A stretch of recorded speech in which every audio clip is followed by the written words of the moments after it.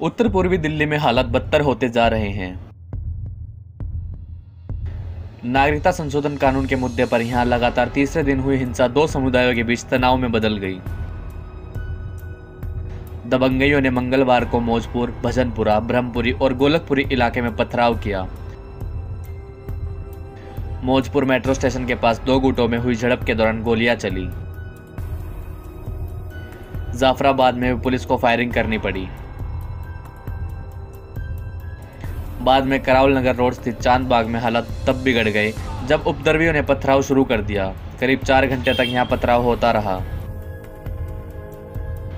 कई दुकानों में आग लगा दी गई। बड़ी तादाद में मौजूद पत्थरबाजों को रोकने के लिए शुरुआत में महज 20 पुलिसकर्मी मौजूद थे। बाद में मौके पर पुलिस की कई टुकड़ियाँ पहुँची।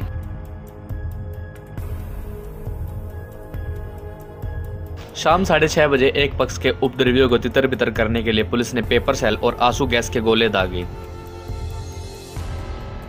इसके बाद दूसरे पक्ष ने पत्थरबाजी शुरू कर दी। चांदबाग में पूरे चार घंटे के बाद पत्थरबाजी रुकी। एसएसबी, आरएएफ और दिल्ली पुलिस की कंबाइंड यूनिट मौके पर पहुँचने के बाद दोनों पक्ष पीछे हटे।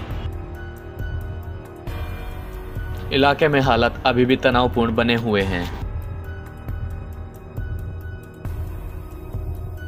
जाफराबाद और मोजपुर इलाके में सोमवार को हिंसक झड़प के बाद मृतकों की संख्या बढ़कर 11 हो गई है। सोमवार को पाँच और मंगलवार को छह लोगों की मौत हुई। 150 लोग जख्मी हैं। हेड कांस्टेबल रतन लाल की सोमवार को मौत हो गई थी।